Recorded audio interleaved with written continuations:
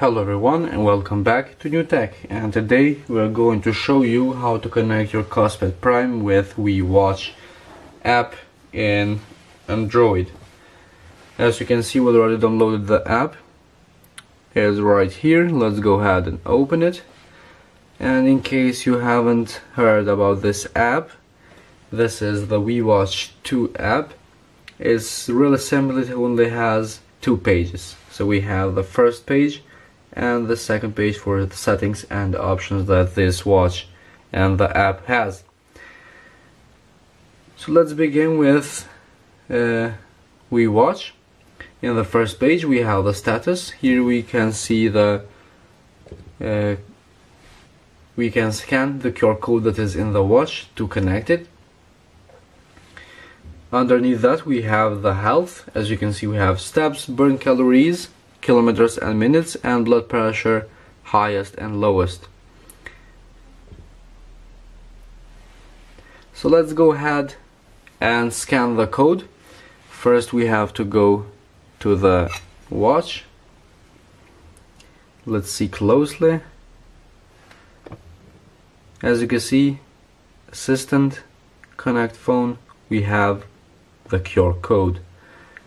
We just need to scan this QR code with the app and we will be able to connect it. So let's press the QR code and wait for app to open. Let's go ahead and scan the code and as you saw that was really fast as you can see in the phone it says connection. And now we have to pair it. Pair in the watch as well. Waiting for. And now it says connected. As you can see in both of the devices it says connected. We have the percentage of battery in the top. And that's what we need so as I showed you in the first page we have here the percentage of battery now and the uh, port when it says that is connected. Now we have here the in the health we have steps uh, we have burn calories kilometers and minutes. Also in the heart rate we have highest and lowest. Here in the bottom we have uh, running, walking, indoor run, cycling, basketball, football, ping pong, badminton and rope skipping. These are all the apps or all the sport mode that are in the watch as well. Let's go back to the second page. Now we have set up. In the personal settings, as you can see, we have the step uh, count I'm going to zoom in so you are able to see it correctly.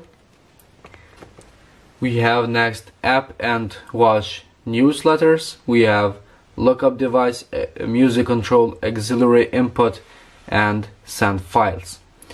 In the phone settings, as you can see, we have raised the screen, silent mode, app notifications, unit switch, get support, feedback, software update, instructions in the end. So this was all for the connection part. As you can see that was really easy. Now we have everything. As you can see the time now is synchronized. Everything is working really good after we connected the phone.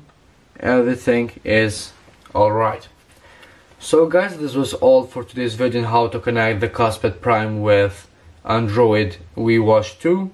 If you have any questions or suggestions, feel free to comment down below and we will try to reply to you or help you. Thank you very much for your time and support. Hit the like button, subscribe our channel and we will see you in the next one.